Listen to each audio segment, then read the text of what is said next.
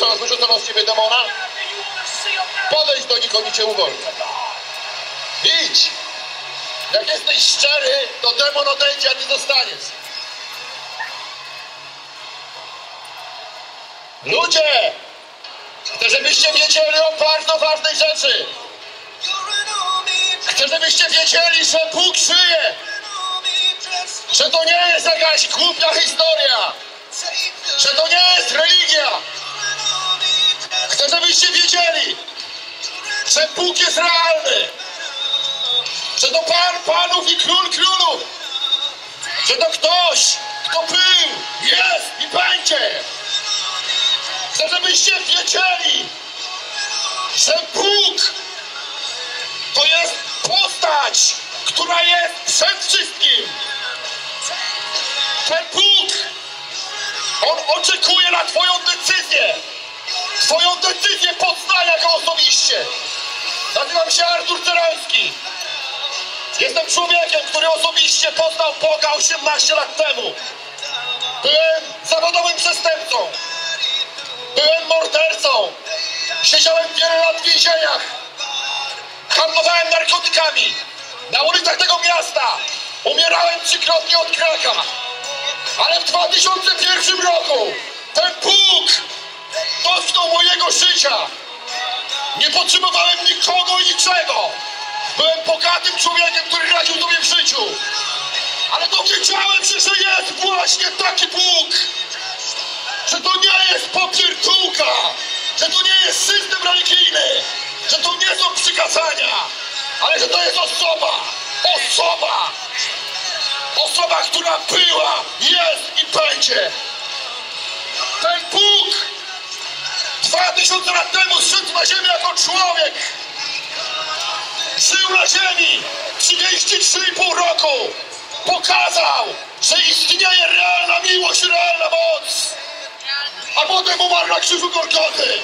A potem wstał z martwych. Wstał z martwych.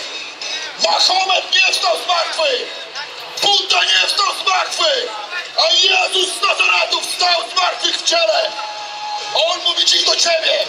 Przyjdź do mnie prostym aktem wiary, nie kozacz. Ludzka sprawiedliwość jest gówno warta.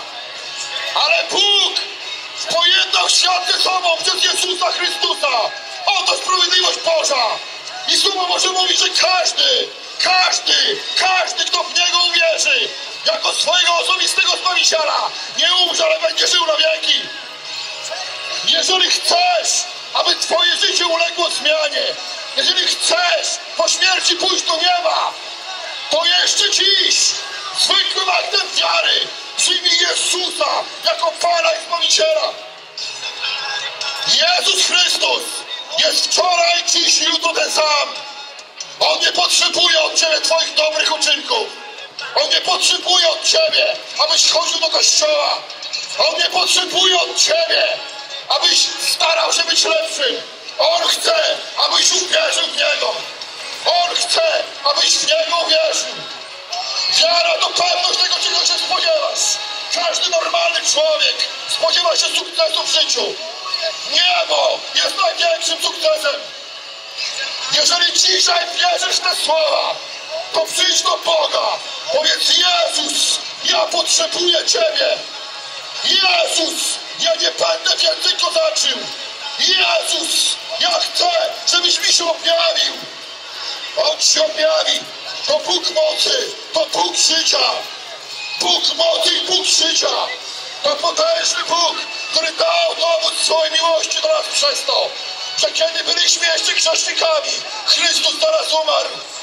Ten Bóg dzisiaj swoją moc upalnia przez takich ludzi jak my.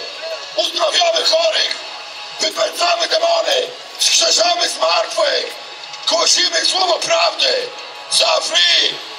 Nazywamy się Kościół Mocy. W każdą niedzielę o godzinie 10 zbieramy się na Dzierżoniowska 11. Jeżeli chcesz doświadczyć realnej mocy Boga, przyjdź i weź swój cud.